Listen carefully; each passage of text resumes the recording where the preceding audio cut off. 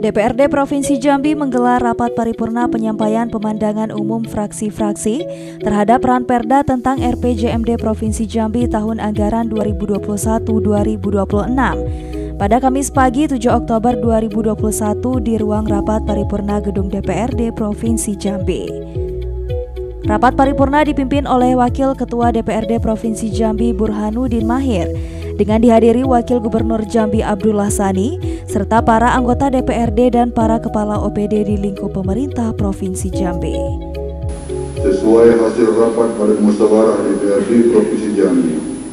pada tanggal 30 September 2021 yang lalu, pembahasan rancangan peraturan daerah tentang RPJMD Provinsi Jambi tahun 2021-2026 dengan acara penyampaian pemandangan umum fraksi-fraksi terhadap rancangan peraturan daerah tentang RPJMD Provinsi Jambi tahun 2021-2026 berdasarkan mekanisme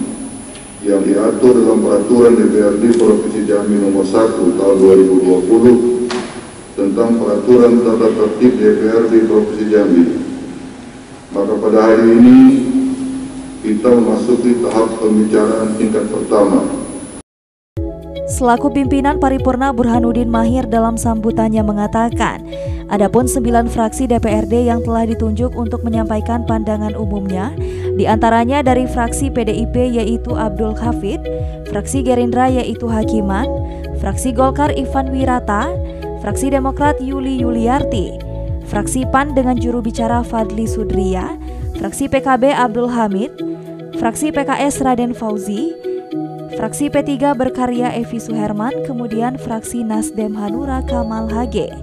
Secara keseluruhan, pandangan fraksi-fraksi DPRD Provinsi Jambi memberi apresiasi kepada pemerintah Provinsi Jambi atas penyelesaian Ranperda RPJMD Provinsi Jambi tahun 2021-2026 yang lebih cepat dan tepat waktu. Selanjutnya berharap program prioritas pengembangan kawasan ekonomi baru Sentusa, Sengeti Tungkal Sabak, serta percepatan pembangunan infrastruktur transportasi dan percepatan penyelesaian akses ke pelabuhan Ujung Jabung.